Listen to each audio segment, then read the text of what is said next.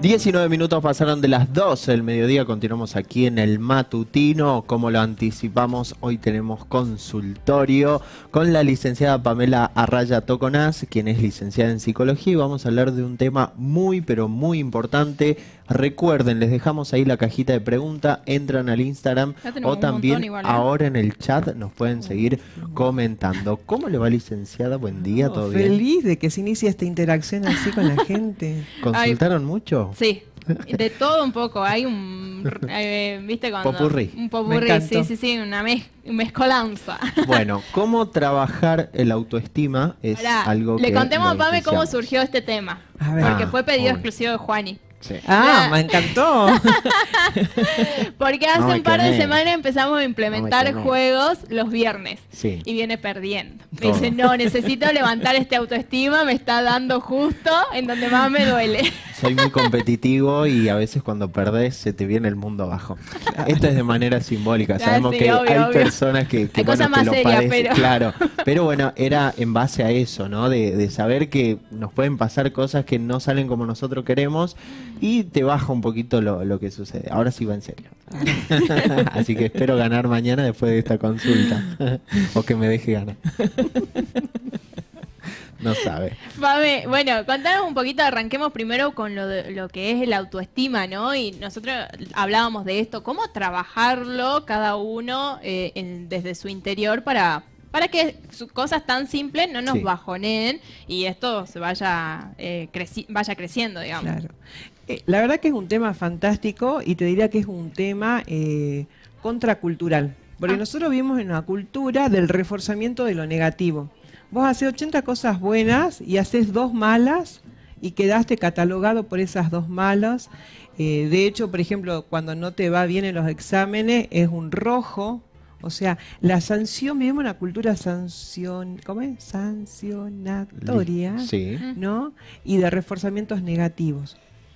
Eh, esto hace que, y por otro lado, una cultura bastante miedosa también, siempre cuidado con, cuidado con, siempre como si tuvieras que estar abriendo el paraguas todo el tiempo, ¿no? Todo esto va en contra de una, de una autoestima. ¿Qué es la autoestima? Es la predisposición a percibirme como competente y a tener la, la capacidad de sentir que puedo afrontar los desafíos de la vida. Fíjate, interesante predisposición a sentir que tengo los recursos para afrontar. Ahora, acá hay un montón de temas. Sí. Eh, vos, vos, ¿te percibís a vos o percibís una imagen de vos? La relación, por, otro lado, podríamos decir que la autoestima es la, la, forma en que nos relacionamos con nosotros mismos, donde hay componentes cognitivos, emocionales y conductuales. ¿Sí? La autoestima está relacionada a la autoimagen, que sería la percepción que tengo cognitivamente de mí misma. ¿Qué dice Pamela sobre Pamela? acá viene otra pregunta. ¿Lo que Pamela dice de Pamela es lo que Pamela dice o es lo que escuchó de mamá, lo que escuchó de papá? Si ustedes se observan a ustedes mismos, van a ver que muchas veces se tratan a ustedes mismos como fueron tratados por sus padres. Mm. ¿Sí? Entonces, tengo muchos juicios este, con respecto a mí mismo que no son ni siquiera mis juicios. Para que vean como la ensalada increíble que es la autoestima. Entonces, está el componente cognitivo, está lo que los demás dicen. Si, por ejemplo, yo me vivo como libre, pero el otro a mi libertad la ve como locura, y yo soy eh, débil o frágil o vulnerable, quizás empiezo a inhibir mi libertad por el juicio del otro. Y si el otro no se anima a vivir su vida y me está enjuiciando a mí, en realidad envidia esta libertad que yo tengo. Si yo dejo de ser quien soy por cumplir una expectativa, ¿sí? bueno, bueno, es todo este entramado. Entonces, por un lado está cuál es el juicio que yo tengo de mí misma, eso me va a generar una emoción. Sí. Por ejemplo, cuando ustedes se equivocan, ¿qué es lo primero que dicen? ¿Qué es lo que dice la gente en general? Y que todos hemos dicho, qué estúpido, o sea, por decir otras cosas, ¿no? O sea, Nunca decimos, ah, qué interesante. No. Esto no me salió como yo esperaba. ¿Qué me doy cuenta? O sea, no tenemos una relación de amorosidad con nosotros mismos. Cuando nuestros padres quieren que logremos objetivos, muchas veces o te inflan, ay, vos sos el mejor, el fantástico, entonces todo el tiempo tenés miedo de no ser el mejor y el fantástico. Con lo cual siempre estás estresado. Claro. ¿No? O no te ven directamente, entonces es muy difícil que vos sepas quién sos. Entonces, eh, en esto de que no tenemos una relación asistente con nosotros mismos, pensamos, es muy interesante Norberto Levi cuando habla de la exigencia y la excelencia, nosotros creemos que vamos a lograr objetivos con la exigencia. Con la exigencia lo que generamos es más estrés.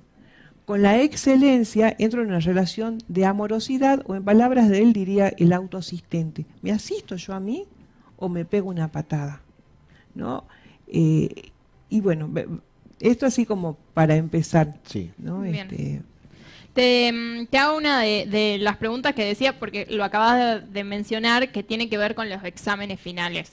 Mm. ¿Cómo uh. uno eh, no se bajonea después de desaprobar un examen que seguramente lo preparó, lo recontraestudió, eh, o ya se presentó una vez y no aprobó, bueno, la segunda, este, con esos golpes que te da, sobre todo más allá de los adolescentes, de los jóvenes, sobre todo en, en, los universitarios, ¿no? Que sabemos que quizás muchas veces el desaprobar un examen final eh, implica el no poder seguir con alguna materia que sea correlativa y que se nos viene el fin del mundo en ese en esa planificación que teníamos del estudio universitario.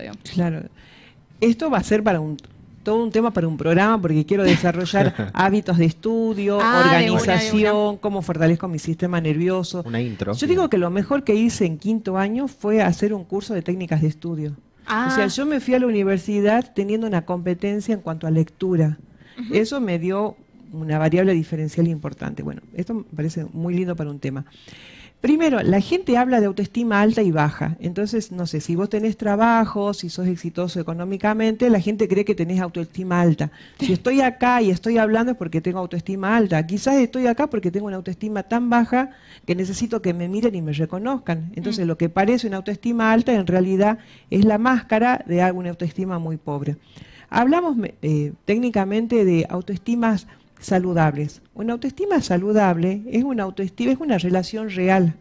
O sea, si yo desapruebo y no me bajoneo, soy una loca. O sea, ¿cómo no me va a afectar la realidad? Ahora, una cosa es que me afecte y otra cosa es que me saque de eje. Mm. Una cosa es que me desajusto y es como y me vuelvo a acomodar. La, vida es continuamente este proceso de desacomodación y acomodación. Las cosas, si no tenemos sangre de pato, nos, nos impactan. Y hay gente que no se abre a ese impacto. Entonces va acumulando muchas cosas. Por ejemplo, hay gente que en la actualidad sufre duelos no resueltos, no sé, de pérdidas que han tenido nuestros padres. O sea, decís, ¿cómo me afecta la muerte de, mi abuelo si yo no había nacido? Esos duelos no resueltos me afectan. O sea, hay un montón de cosas que nosotros no nos abrimos a sentir y eso después se va acumulando. Entonces, no está mal que me ponga mal si me va mal. No está mal que me, va, que me ponga mal si perdí y no me agrada. El tema es si esa emoción después se cronifica. ¿sí? Ahora, ¿cómo recuperarnos? Y acá voy a hacer como un retroceso. ¿Cuándo se empieza a formar la autoestima? Desde el momento en que el esperma y el óvulo se unen, desde ese momento de no conciencia, pero sí de registros de, las sensaciones, desde ese momento de la concepción ya estamos siendo cargados no solo por una carga genética, sino por una carga vivencial. Si mi mamá está mal con mi papá y se angustia y no sabe si sigue con él o no, si él la ama o no, si ella me quiere tener o no, toda esa configuración va a hacer que mi sistema nervioso tenga una predisposición a la ansiedad. Sí.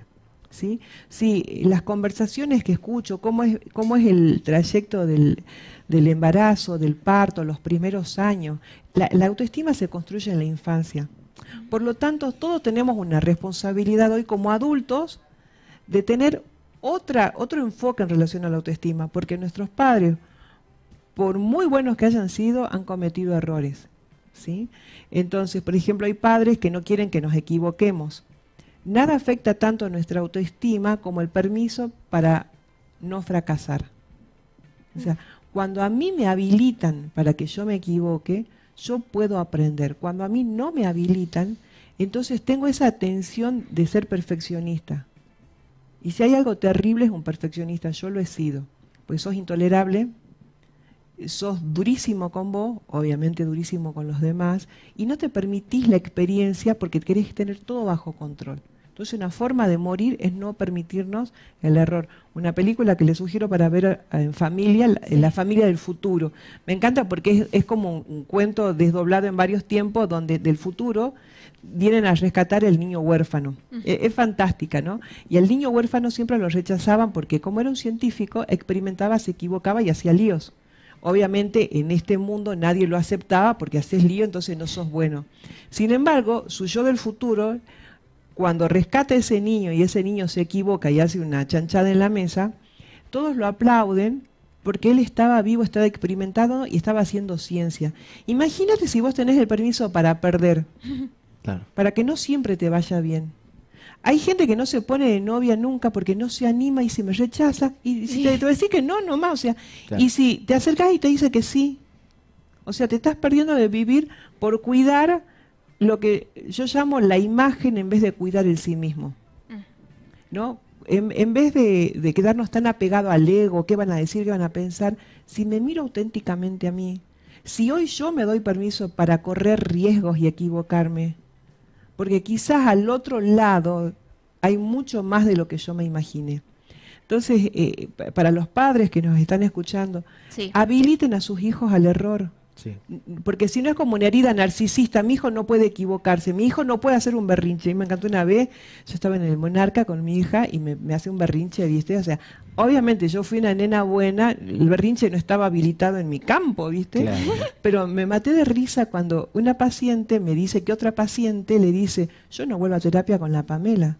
Porque si la nena le permite esos berrinches a la nena, y yo me maté de risa porque incluso en ese momento pude descomprimir y mi hija me va a hacer berrinches y mi hija se va a oponer y va a hacer cosas que tienen que ver con su crecimiento, no con mi narcisismo de mamá psicóloga. Ah, ¿Entendés? O sea, Claro. los padres a veces eh, en ese narcisismo que tienen no habilitan, porque es como si mi hijo fracase como que yo me equivoqué. Claro.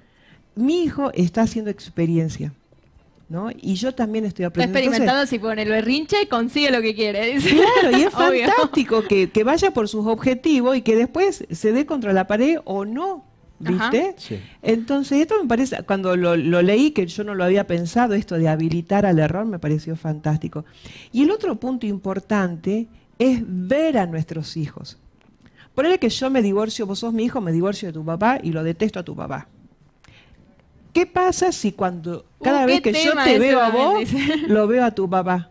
Entonces, Uh. viste, porque esto, viste, sos igual a tu Tu papá. ¿Pasa o no pasa? ¿Qué Pasa dice la no gente? pasa. En las mejores familias pasa, ¿viste? sí. Entonces dejo de verte a vos, Como que es. sos otro. A veces le digo a la gente, encima le, papá Juan, hijo Juan, abuelo Juan, Ay, tatara- sí. oh, todo el Ey. linaje de Juanes, ¿viste? Entonces, bueno, decime, decime tres cosas en las que Juan hijo es diferente a Juan papá, a Juan abuelo, ¿sí? Porque obviamente tiene que tener algo del padre, si es hijo del Señor, no del verdulero. Entonces, algo tiene que tener. O- no, pero empezar a ver a las personas. Sí. Casi todo lo que hacemos en la vida es para que alguien nos vea. Mm. Portarnos mal, portarnos bien, destacarnos, no destacar. O sea, es una necesidad básica humana. Entonces, estás mirando a tu hijo, estás mirando a tu pareja, estás mirando a tu novia, estás mirando a tus amigos, te estás mirando a vos, porque la otra, si yo no me miro a mí, voy a tener una demanda. Vos no me mirás. Claro. Oh, y vos decís, ya, basta, Ya está. O sea, estos componentes son muy importantes. Poder verme, poder habilitarme al error y abrirme a la experiencia. Perfecto. En el tema de los exámenes, ah, a ver, en esto que hablaba de la autoestima es sana, no es alta ni baja. Una autoestima sana asume la responsabilidad. ¿Qué es asumir la responsabilidad? A mí me pasó de haber estudiado un montón, pero haber estudiado mal. Hacerme cargo que no estudié de manera adecuada y que este examen no fue bien porque no pude manejar mi organización del tiempo, no pude organizar mi estrés o el miedo que me daba esta profesora. Vieron que siempre hay un cuco, ¿no? Sí. Eh, un tiempo fui docente en la universidad, este, en la carrera de psicología dando Gestalt, y conversábamos con los chicos. ¿Qué ves cuando ves a la profesora Pepita? Y era impresionante, Dijeron miedo. Pánico. le tenían un... Tal cual, se bloqueaban, no hablaban. Mirá. ¿Qué ves cuando ves? Por lo general, toda figura de autoridad representa figuras de autoridad. ¿sí? Entonces, puedo retrotraerme la relación con mis propios padres, si le tenía miedo a mi papá, si le tenía miedo a mi mamá, si la figura de autoridad era un abuelo, un abuelo. ¿Qué estoy proyectando en esta profesora al margen de cómo ella sea? Mm. Y lo otro que hacemos es proyectar o transferir nuestra propia exigencia. Entonces, por ejemplo, por hábito sería bueno que si ustedes critican 10 veces al día, bajen a 5. Porque toda esa energía crítica es la después la que vuelven. Yo siempre, me, me- cuento una anécdota muy graciosa, a mí me encantan los zapatos, y una vez le digo al papá de mi hija, esa señora ya vino una vez, pero no me acuerdo su cara. No, de su cara no me acuerdo, pero vino Los con los mismos zapatos. zapatos, le digo yo. Me muero. o sea, obviamente que eh, e- es una variable que yo miro y también una variable que yo creo que los demás van a mirar en mí. Ajá. Eh, yo no quiero volver a repetir el zapato, o sea, voy a decir una tontera, pero ¿qué quiero decir con esta tontera? Que todo lo que está en mi campo y todo lo que yo hago con el otro, internamente lo hago conmigo misma. Entonces, si eh, en vez de estar criticando todo el día, empiezo a tener eh, una mirada no gastadora de energía, porque gasto energía en criticar. Ahora, ¿quién critica? El que necesita sentirse mejor del de- que el otro.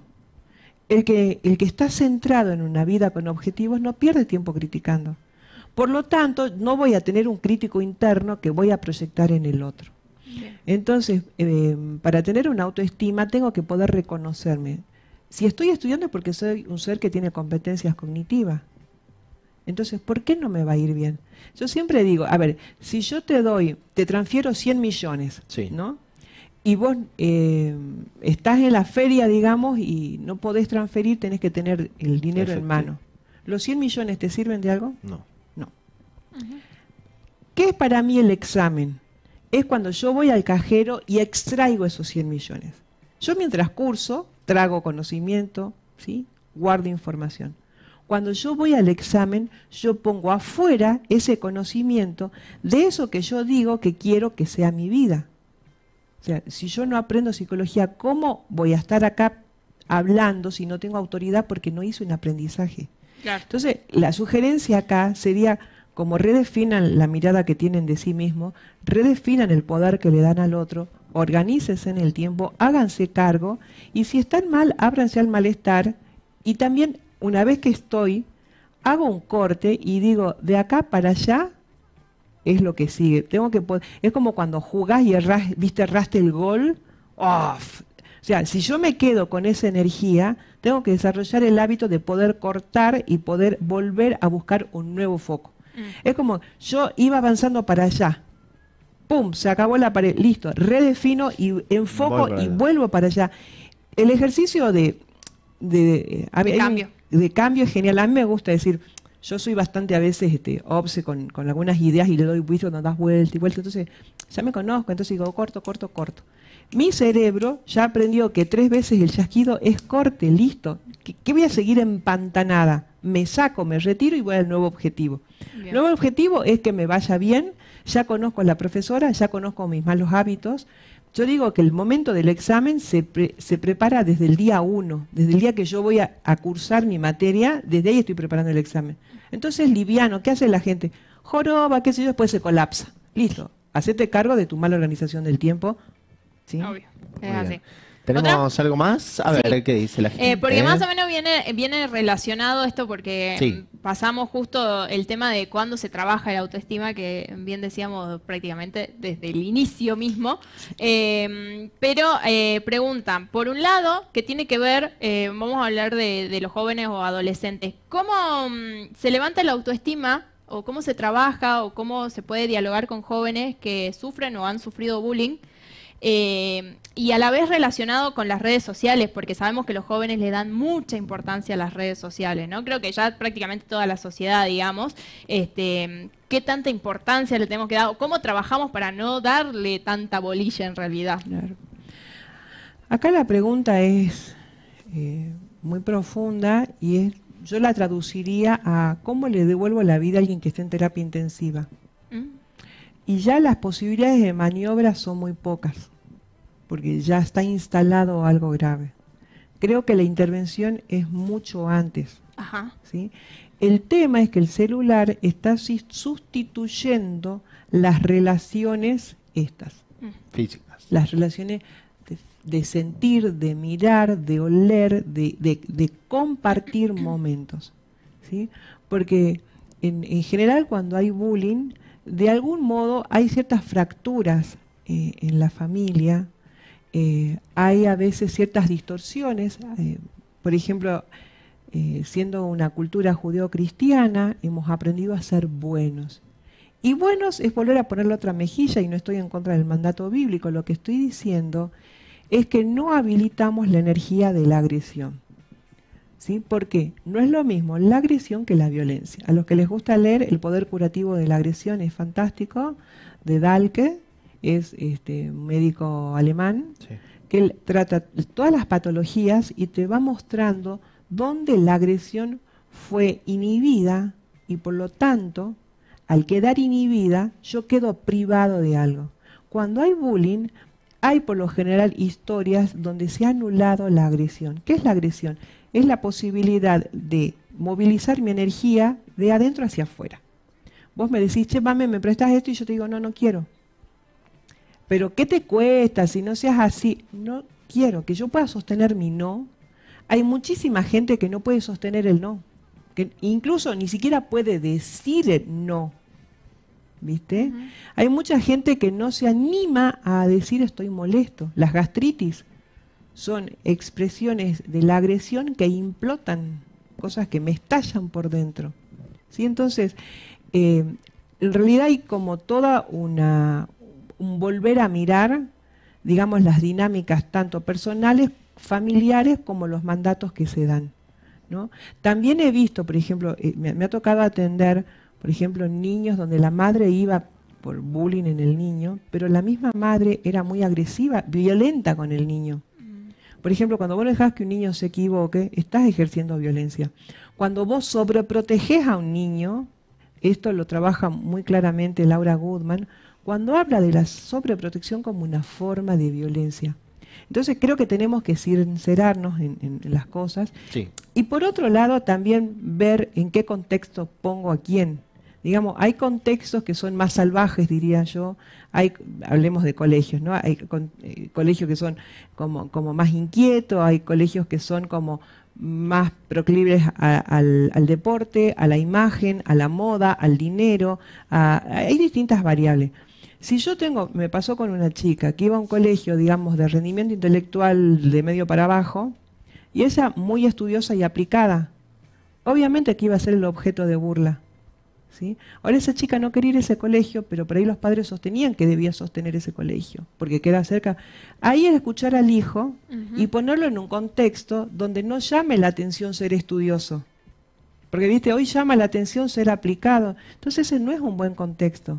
Y si no, tengo que hacer un gran trabajo de fortalecimiento para que pueda resistir eso, porque realmente es como tan complejo que yo creo que hasta las escuelas están colapsadas porque no saben cómo manejar esto, ¿no? Claro. Eh, yo creo que habría que haber, tendría que haber dispositivos que permitan sacar también la rabia y, y emociones que no son gestionadas, ¿no?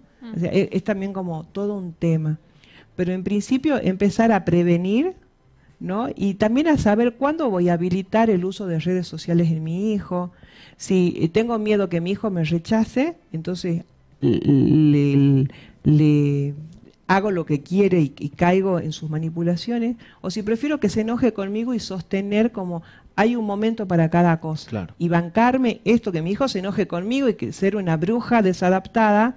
Y bueno, cuando yo considere que está fuerte para, lo dejaré habilitar redes, digamos, ¿no? Totalmente. Es una preparación previa, ¿no? Una- Tanto para lo que mencionábamos en las redes sociales, como para la facultad, como para el colegio, es siempre tratar de ir preparándonos. Yo creo que la vida a mí me gusta mucho eh, darle lugar a la pausa. ¿Viste esto? Nosotros inhalamos y exhalamos. No, inhalo, sostengo. Ese sostengo es un espacio. Y nuestra sociedad está colapsada porque no va a este espacio donde puedo permitir el intercambio. El espacio es ese momento en el que yo miro hacia dónde voy, a dónde quiero ir. Yo no puedo venir y, y- y la gente, pero viven así, ¿viste? O sea, no, yo vengo, o sea, vine, de, eh, vine hacia acá, me senté y me detuve, armé un espacio para conectarme y estar acá. Claro. Y cuando, se- o sea, incorporen los, los espacios y los momentos y observemos que si observo, a mí me gusta mucho armar la agenda, armo la agenda el domingo, por ejemplo, Sí. pero a la vez la vuelvo a revisar cada noche. ¿Por qué? Porque ya hay un- una organización en mi cabeza y eso también hace que optimice y también hace que me prepare. Yo sé que el otro martes voy a hacer la columna escrita. Ya he leído y he ido escribiendo cosas. Claro. ¿sí? Ya he escrito incluso el de la semana que viene. Y sé que el jueves voy a venir acá, estoy atenta a lo que pasa. Tengo, yo lo yo llamo un semillero, tengo, Sí. tengo muchos semilleros de ideas con respecto a proyectos acá, proyectos allá. Eh, es como, hace rato hablábamos de qué, qué comemos, ¿Qué ¿no? comer? Sí. Que- que- que- y que no me colapse el pensar. No tengo que gastar energía en nada que no sea importante y que requiera mi energía, en, un gasto energético. Sí. No deberíamos gastar tiempo en pensar qué me pongo, no deberíamos gastar tiempo en qué cocinamos. Entonces, si yo organizo un- una agenda, si yo digo, bueno, voy a tener frisada una zanahoria, yo tengo zana- zanahorias cuadraditas, zanahorias alargaditas, zanahoria, por si quiero una sopa, por si quiero un guiso, por si quiero una ensalada. Entonces vos venís, sacás y no te rompes la cabeza y es práctico. Yo creo que no es prevenir o anticiparme, es organizarme. Entonces creo que, que está bueno pensar cómo viene mi año, cómo voy a organizar el tiempo, cómo me descomprimo. ¿no? Que requiere de inicio una voluntad, ¿no? De, de hacerlo para cumplir. Yo no sé si la gente tiene voluntad. ¿no? Por eso, Este, em, porque suena como eh, a una imposición, ¿viste? Cuando tu papá te daba una orden y vos no querías obedecer, es como Sí. un deber. Pataleando. Claro, todo lo que es deber o tengo que no genera mm, atractivo. Es como que llegás a encontrar a tu novia en chancleta, no sé. Sí, viste, Toda- que no se lava los dientes y no sé. no- no. Mm, Todo. La, la- la vida es seducción. Y es también pasión. Tenemos que empezar a pensar, digamos, los resultados de esas cosas que si yo hago voy a obtener. Entonces, ¿qué me apasiona? Me apasiona saber, no sé si tengo 17 años, que a los 23 yo voy a estar afuera. Me estimulo con la construcción del logro. Entonces, ah, a ver, capaz que no tengo la voluntad, no sé, de comerme un sándwich de milanesa a la una de la mañana. Eventualmente, bueno, hacelo, ¿viste? Sí. Pero si te desorganizas y todos los días estás comiendo esa hora, no dormís bien, la digestión es mala, engordás porque no gastás las calorías, no te permitís el sueño, eh, adherís más las grasas. Entonces, capaz que no tengo la voluntad de decirle a una mila que no, Claro. pero sí me estimula el verme linda.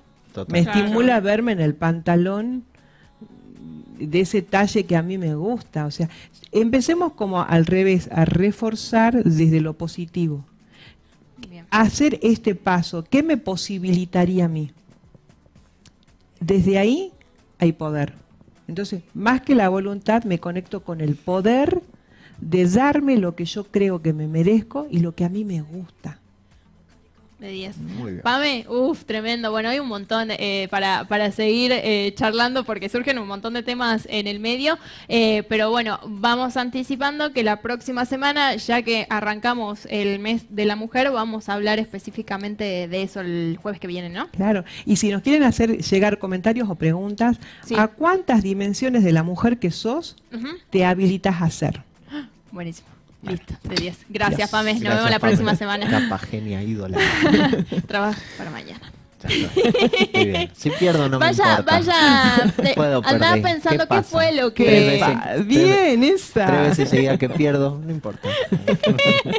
La semana que No, viene te pero contamos escuchaste cómo. esa risa.